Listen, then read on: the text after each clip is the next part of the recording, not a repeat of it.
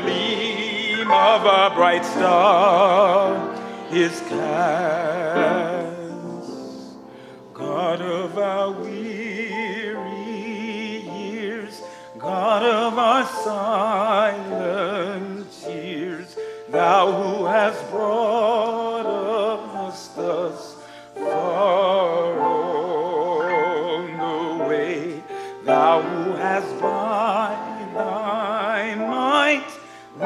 us into the light, keep us forever in the path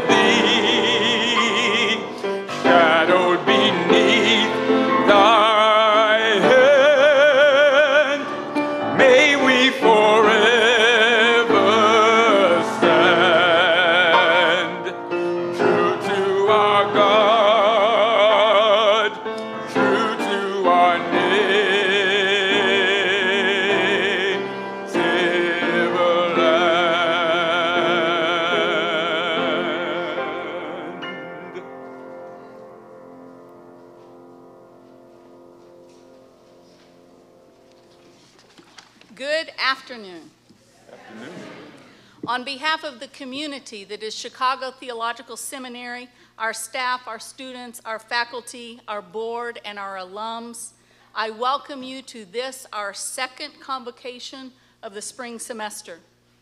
Welcome to this formal and traditional experience where we ritually acknowledge our work. Welcome to all who are here today in person and via live stream. I want to remind you, you can live tweet today what Dr. Butler has to say, uh, hashtag CTS Live. I hope you are all having a wonderful spring now that it is finally becoming spring. And I wish you the best as you complete your semester. I know this is a difficult time of the year. Things are coming due. Everybody wants everything from you right now. That happens every spring. Take a deep breath, be in your experience, and know that the semester is almost over. Welcome to you all this afternoon. May this convocation serve as one reminder of the many reasons we are here studying and working in this place.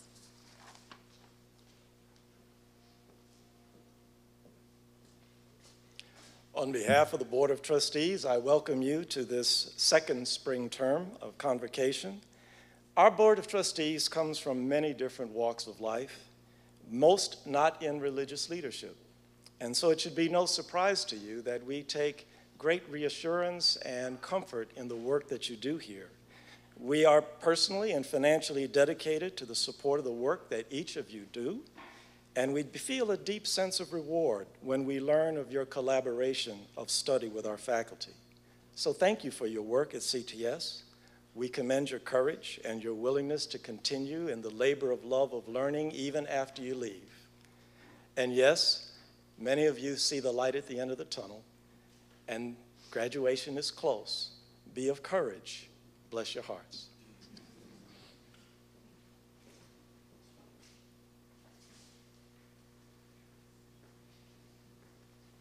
Good afternoon. A convocation is literally a gathering or assembly, and at CTS we gather several times a year to mark that part of our life together, which is devoted to learning, teaching, writing, and research. Most of you are aware by now that April is a busy month in our academic year. Many students are being examined or hope soon to be examined on the final projects of their degree requirements in anticipation of graduation. And we also have several important events in the coming weeks, including our Selma at 50 conference next week, our event honoring Professors Dow Edgerton, Susan Brooks Thistlethwaite, and Ted Jennings on April 30th, and our annual Castaneda Lecture from Dr. Heather White on May 7th. In spite of this schedule, our faculty members continue to speak outside of CTS as well. Thus, Professor Thistlethwaite is away today at Arizona State University, where she is speaking at a conference on peacemaking from the grassroots. Professor Seung Ai Yang recently spoke to the Chicago Society of Biblical Research and will speak soon to the Korean American Catholic Theological Society on topics related to the Gospel of Matthew. Professor Rachel Mikva just spoke to the Niagara Foundation about interreligious engagement and will speak this week to the Jewish Reconstructionist Congregation in Evanston on Jewish texts on immigration. Professor Rami Nashashibi will be speaking in Detroit on community organizing and urban renewal. Professor John Thomas will be speaking to the Fox Valley Association of the UCC and then in Kansas City at the Ecumenical Center on Stewardship. And I will be traveling tomorrow to Ball State University to give a lecture sponsored by the Department of Philosophy and Religion. Today, however, we all look forward to hearing from our convocation speaker. Dr. Lee H. Butler Jr., our professor of theology and psychology, completed his BA at Bucknell University before going on to earn his MDiv at Eastern Baptist Theological Seminary, his THM at Princeton Theological Seminary, and his MPhil and PhD at Drew University. After serving as assistant professor of pastoral theology at Lancaster Theological Seminary, he came to CTS in 1996 which is beginning to seem like a long time now to both of us since we arrived in the same year. Dr. Butler previously served as the founding director of our Center for the Study of Black Faith and Life, and from 2007 to 2012 as president of the Society for the Study of Black Religion. He is the author of numerous articles and essays and of three books A Loving Home Caring for African American Marriage and Families, published in 2000, Liberating Our Dignity, Saving Our Souls, published in 2006, and Listen, My Son Wisdom to Help African American Fathers, published in 2010. More recently, he has been working on and lecturing about new projects, including Religion, Terror, and the American Dream, and Introducing Africana Pastoral Theology, a narrativized historiography, a project for which he received a research grant award this year from the American Academy of Religion. We look forward to hearing more about his recent work today as he speaks to us on the topic Living Africana and Purple Between the Thing and the Stuff, a retrospective on my 2014 research leave.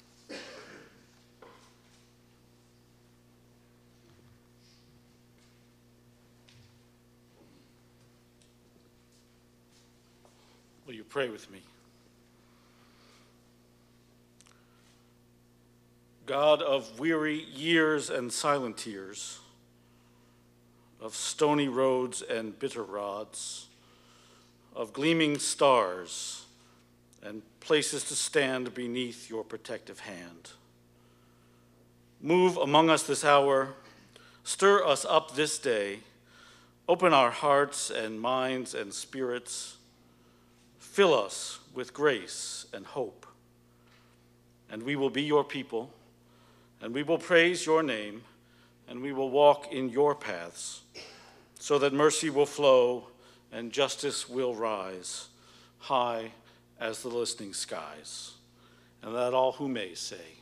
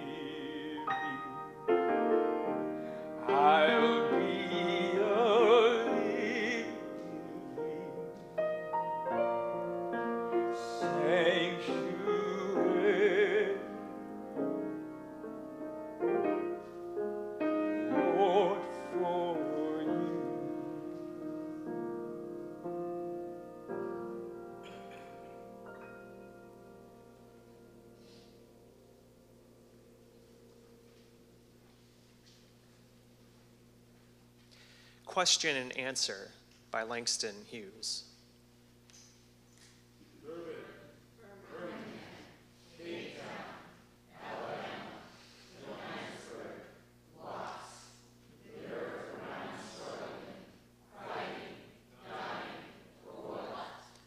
A world to gain.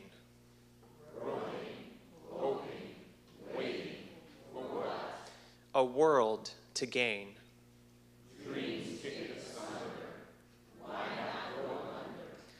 There's a world to gain.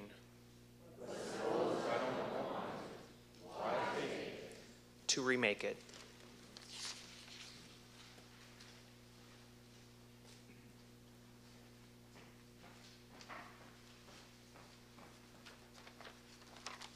Good afternoon.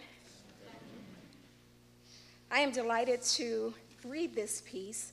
I'll be reading from the book Incidents in the Life of a Slave Girl, Harriet Jacobs, writing as Linda Brent. Brett, excuse me. You may believe what I say, for I write only that whereof I know. I was 21 years in that cage of obscene birds. I can testify from my own experience and observation that slavery is a curse to whites as well as to blacks. It makes the white fathers cruel and sensual, the sons violent and licentious. It contaminates the daughters and makes the wives wretched. As for the colored race, it needs an abler pen than mine to describe the extremity of these sufferings, the depth of their degradation.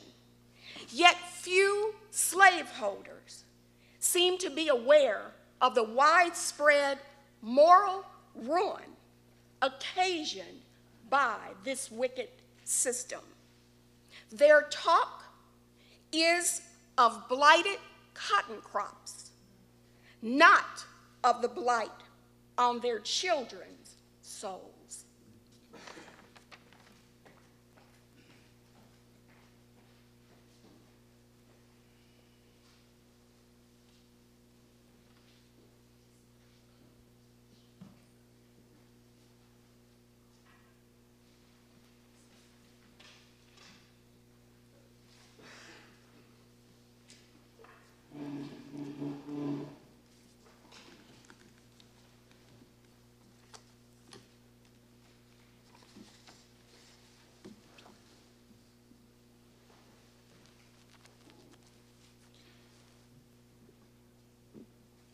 President Hunt, Chairman Williams, Dean Stone, faculty, staff, students, friends of CTS, both on campus and joining us through live stream.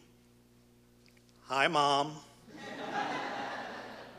Good afternoon. In order to remain fresh and on the cutting edge of current issues. Every scholar must develop new approaches to doing her or his work. I've taken off my regalia, not to be less formal, but to gesture the important methodological step that I took last year. By this bold move of breaking protocol, I'm declaring we must be daring and not retreat into old models of remaining traditional or maintaining traditional disciplinary standards of theological discourse. 2014 was my year to develop new methodological resources for research and writing. What I share with you today is a retrospective on my intellectual journey, living Africana and purple between the thing and the stuff.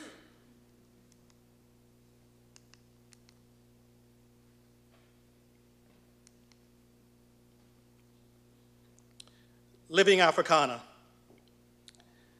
Africana is the latest construct for researching and describing African culture and life in the Americas.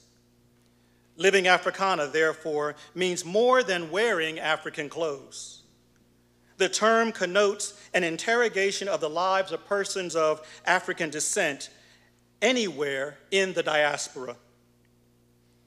As an identification for inquiry and discourse, Africana began primarily among scholars in North America. Africana studies differs from African studies in terms of focus.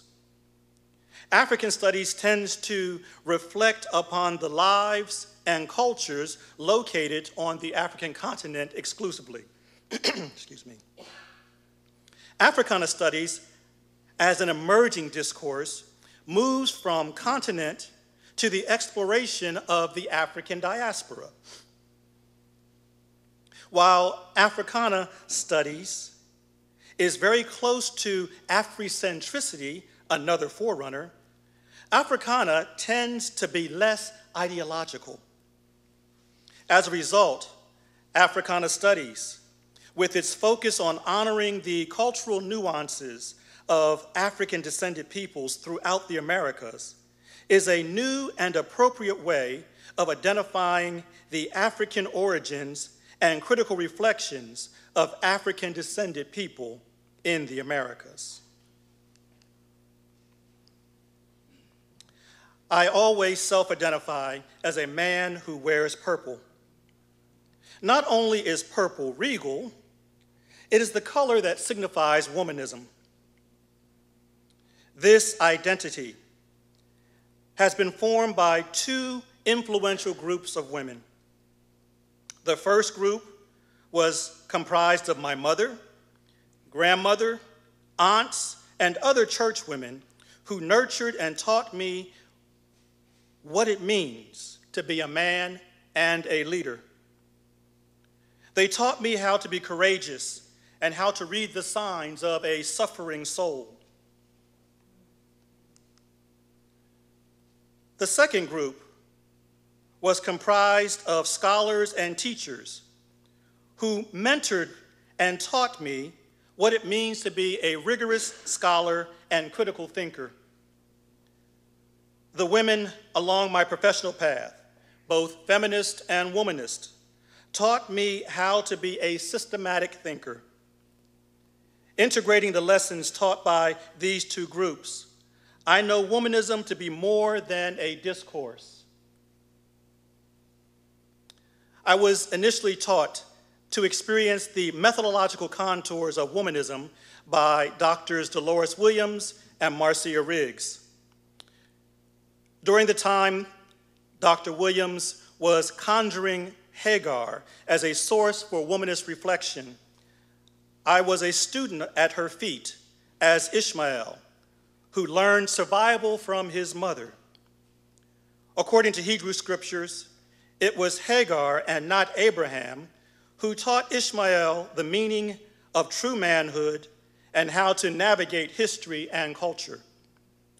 Furthermore, for years after I earned my doctorate, although Dr. Riggs was not my primary advisor, she met with me annually to direct and correct my understandings on womanism. I continue to reach out to mentoring sisters because of my awareness of the phenomenology that is implicit in womanism. While my sensitivities can be cultivated, my experiences in the world necessitate that I maintain a mentee's posture related to my participation in womanism. The thing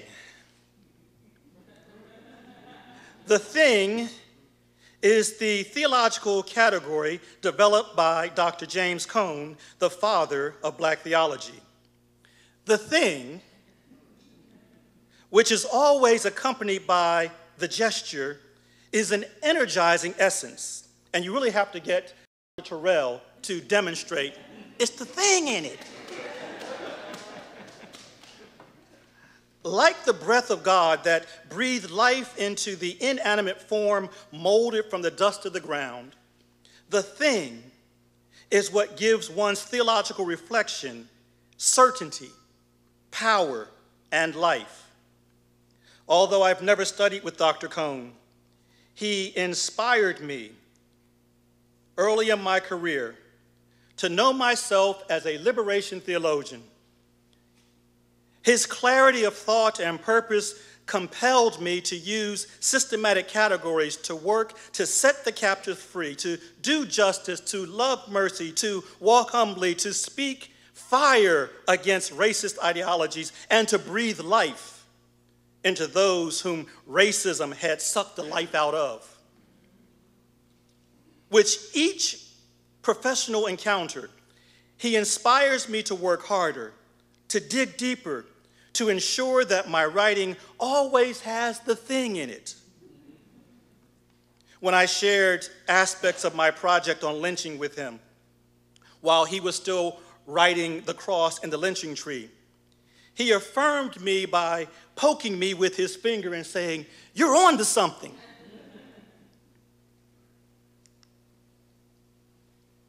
the stuff. The stuff is the quintessential term of Dr. Charles Long, who is the preeminent scholar of the history of religions. Dr. Long says if you're going to understand religion, which he defines as orientation, and the religion of any people, you must know what their stuff is. Engaging him in conversation about religion or the history of religions in context, he will always ask, What is their stuff? The essence of the question is to say that when you know the matter, the material, the substance that orients the people's religious compassions and passions, you not only know what gives meaning to the lives of the people, you know how the people orient themselves in the world. The stuff is a focal point that gives human beings the feeling of being in control in a world where power is elusive. But even when you recognize their stuff, you cannot become fixated upon their stuff as the center of their religion. Knowing the stuff helps you to know what religion is striving for and where the people of the religion are moving from. Martial artist Bruce Lee gives us an important lesson on fixation in Enter the Dragon. Those of you who have seen it, you can follow along with me. He says, Feeling is like a finger pointing to the moon. Don't concentrate on the finger or you'll lose all that heavenly glory. If you're concentrating on the finger, you miss the whole point that is guiding and driving and inspiring the people. You focus on the stuff, you miss out on who they are. You don't focus on the stuff. You have to know the stuff without being fixated on the stuff. 2014 became a critical turning point for my retooling because Dr. Long chose to accept me as a mentee. In March, I flew to North Carolina to spend a week studying with him. That week in North Carolina became an intensive on the formation of the Atlantic world. While there, I met his wife, Mrs. Alice Freeman Long, who is perhaps the first African American woman graduate of CTS. While living in Chicago, she also served on the staff of the Church of the Good Shepherd for a short while, the home church of the chair of our Board of Trustees. My 2014 research leave was guided by the question what is America's stuff? Although I'm now looking at the stuff, I can't give up the thing, nor can I stop living Africana and purple. Looking at the stuff America is made of, I worked on three research projects, which I will present topically and not chronologically. The first, this violent land, religious experience and the trauma of American culture. Violence is the fabric of American life. The violence of America is so profound that the strands of the cloth that have woven have been woven by the loom of the American psyche. We wear the narrative of our national experiences sewn together by the threads of terror. The story I tell of America is a narrativized historiography of blood, a blood that soaks the soil of America. The story of America has been told by scholars and everyday people, by historians and folk singers, by patriots and revolutionary dissenters. While there are contrasting voices that tell the story of America, both voices are necessary to declare the essence of the nation and to describe the experiences of the people who inhabit America. Dr. Long comments Due to the fact that America is the result of a European diaspora, America is a hermeneutical situation, not just for black people, but also for white people. North America, as a land of contact and conquest, has the cultural genesis in the waters of the Atlantic. To accurately define this culture, Long says, one might begin by redefining this culture as an Aboriginal, Euro, African culture, telling the story of America versus telling the story of the colonialism that came to America shifts the narrative from the discovery of a new world to the relational negotiations between peoples with differing social histories. This encounter that was shaped by violent conquest resulted in the emergence of a particular mode of life known as the Atlantic world. We've had difficulty telling the story of the Atlantic world because telling the story of an Indian, European, African culture in America does not accommodate the narrative of a civilizing triumphalism. The Atlantic world created a myth, a dominant narrative that subverted the, the history that pre existed conquest and colonialism. Because the Atlantic world became the site of religion and violence, as well as religious violence, the New World as empire has religion and violence woven into the very fabric of its existence. Rather than telling the story of traumatizing religion and violence within the Americas, American triumphalism has constructed a narrative that focuses on celebrating Columbus Day and the discovery of a new world. Instead of telling the story of terror and mourning the loss of 600 million lives that were genocide in the Atlantic world by conquest and colonialization, Americans mold heroes out of blood soaked clay and valorize their violence with descriptions of how the West was won as we sing America the Beautiful. A retelling of the story of America will help us to understand why violence, terror, and terrorism are so much a part of the American cultural landscape. Only by retelling the story of America can we have the opportunity to regenerate into a new human being.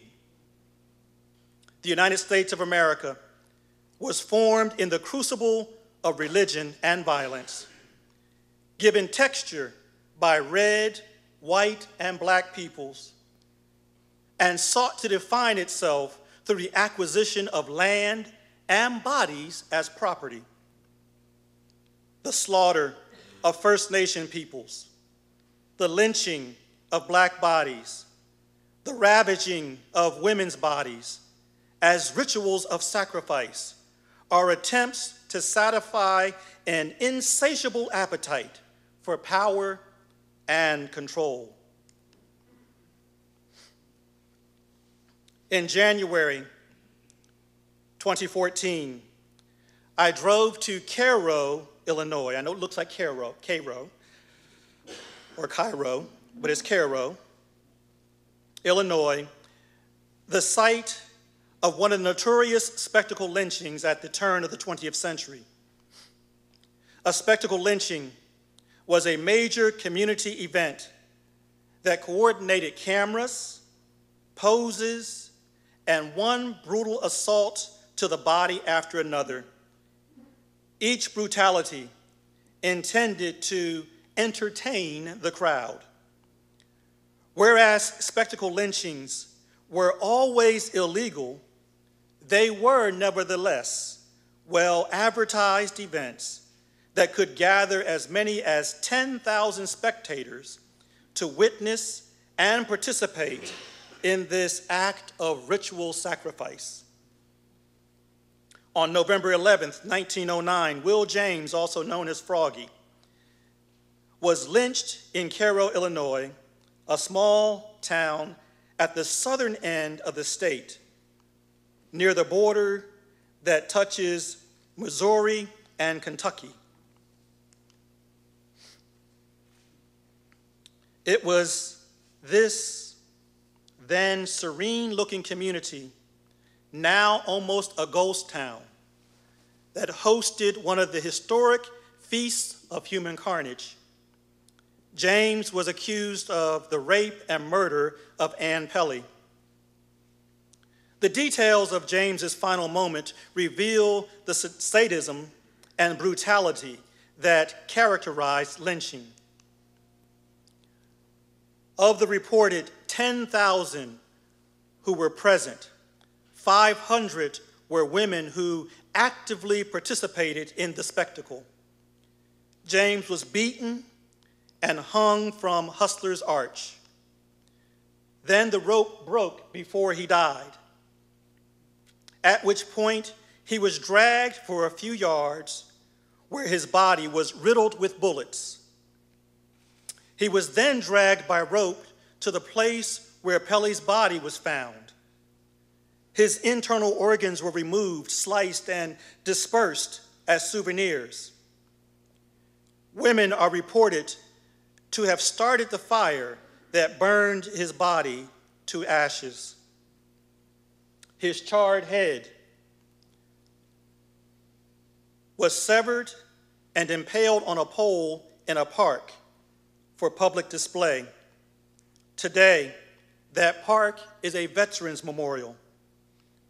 On the same night, James was lynched.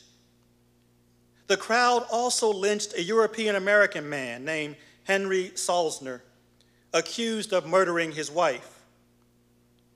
With the mob gathered around a lamppost where Salzner stood with the noose around his neck, the mob had a worship service before they took his life. During the month of September, I attended a conference at the University of Colorado Boulder that commemorated the 150th anniversary of the Sand Creek Massacre. I sat among descendants of those who survived the massacre and listened to stories and interpretations of the events that continue to impact America. As a pivotal moment in America's Western history, Sand Creek was an Indian retreat location located approximately 200 miles southeast of Denver, Colorado.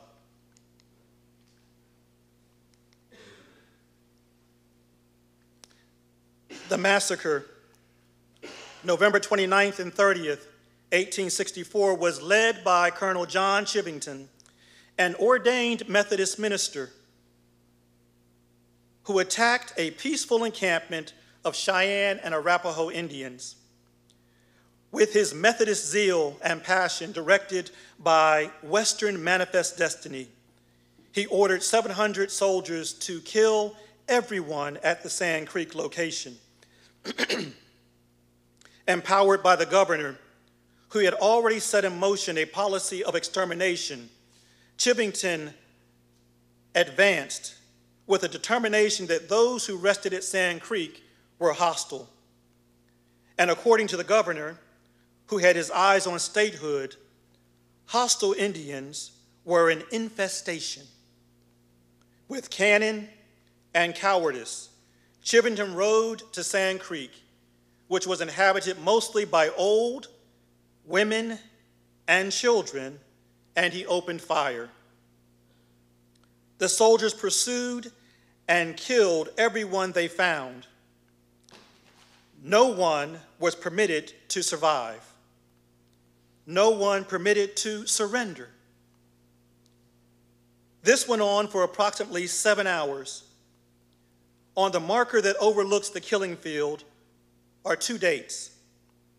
The killing was for one day. The second day, the troops moved throughout the village, look, looting and mutilating bodies, taking body parts as trophies and awards to adorn their uniforms. And remember, these were mostly women and children. After the conference, I spent several days in Denver doing the meticulous work of archival research in special collections like the Silas Soule papers that are more than 150 years old, and poring over newspapers on microfiche and microfilm. My time in the archives also included viewing artifacts from the massacre not available to the general public. In addition to archival work, I visited with Dr. George Tink Tinker, a professor at Iliff School of Theology and tribal member of the Osage Nation, who discussed with me the significance of Sand Creek and the importance of diversity within theological education. My second project, Introducing Africana Pastoral Theology a narrativized historiography. In the spring of the year, I wrote an article on the history of Africana pastoral theology. Excited by this project, I submitted a proposal and received a grant from the American Academy of Religion in the winter to write a book on this title, Introducing Africana Pastoral Theology and Narrativized Historiography. Africana pastoral theology has deep roots within the antebellum period. These roots, traceable to African culture and conjure, divination, and variously coordinated healing practices, sprouted and blossomed into the theories and practices resourced by African American care ministries today.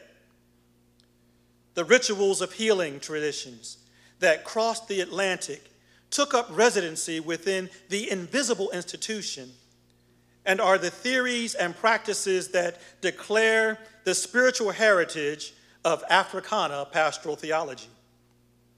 These theories continue to respond with human compassion to the violence and traumas of victimized African Americans within the 21st century. This heritage, emphasizing healing, which restores the body and soul by restoring persons to relationship. This heritage focuses on methods that emphasize family and community, which advocated group and not individual therapeutic practices. This heritage addresses health concerns through the restoration of dignity.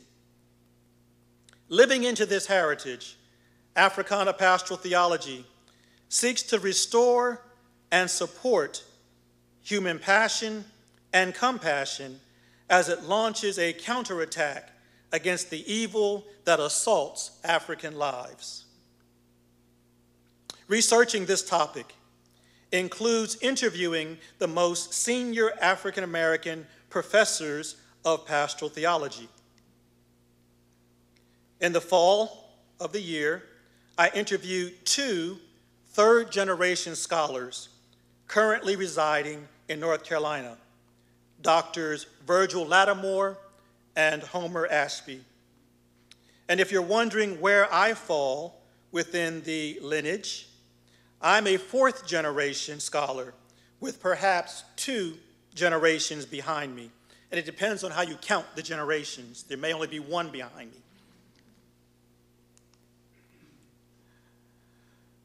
My third project was provoked by the killing of Michael Brown by Darren Wilson in Ferguson, Missouri.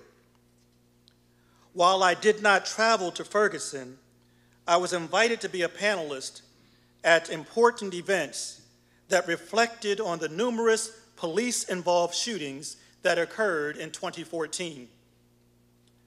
One of those contexts was the Womanist Ingathering at the American Academy of Religion in San Diego, California. The ingathering has traditionally been an all African American women's space, but in 2014, it was opened to include men. I, perhaps, became the first man to be a panelist within that space. It was within that sacred space that many of our womanist PhD students heard my journey into womanism for the first time. Just as Dr. Williams, Dolores Williams, declared Hagar's story as more reflective of and can be more liberating for African American women, I've held that Ishmael's story, particularly in relationship with his mother is more reflective of and can be more liberating for African American men. In recognition and honor of the influence of Dr. Williams, my third project of 2014 is entitled Sisters with Sons in the Wilderness. To the extent that we can reflect on and affirm the dynamics between Hagar and Ishmael, we have a resource for analyzing and critiquing communal suffering within Ferguson and across the length and breadth of this nation.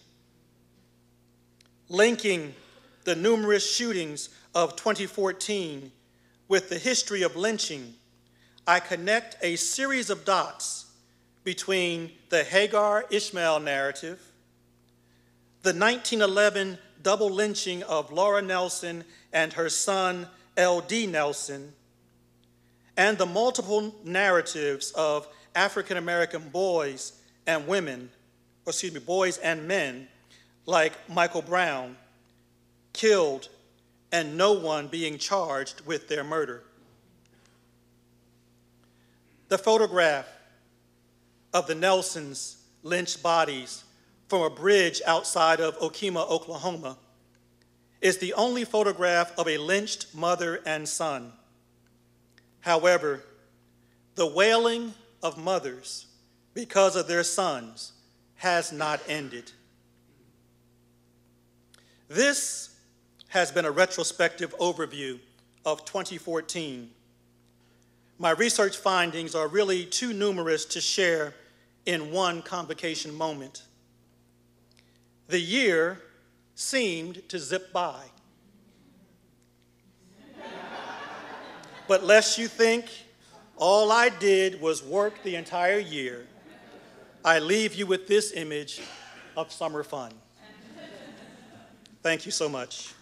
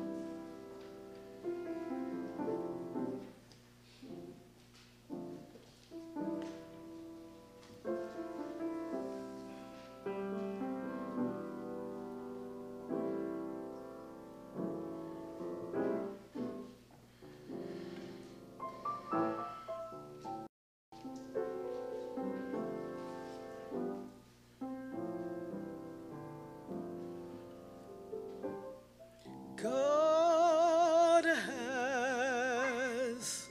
smiled on me. God has set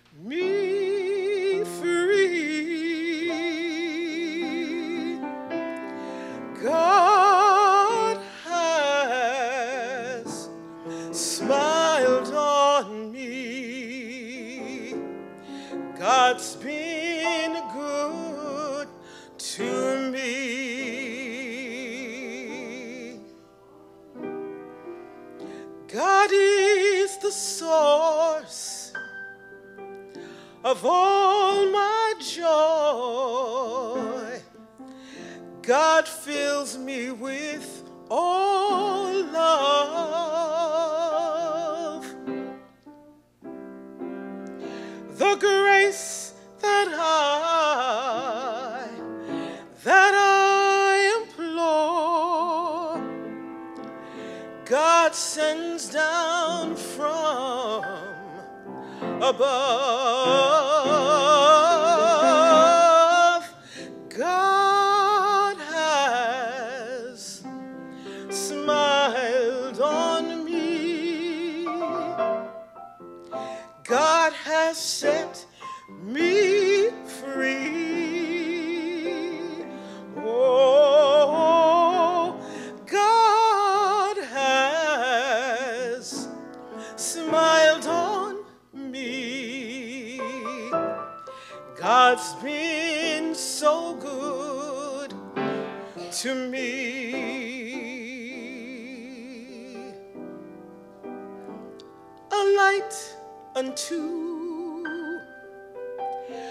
My path is God, my strength when I would fall.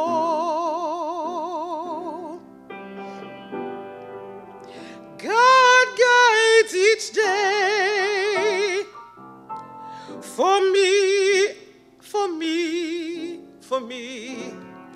God is my all and all.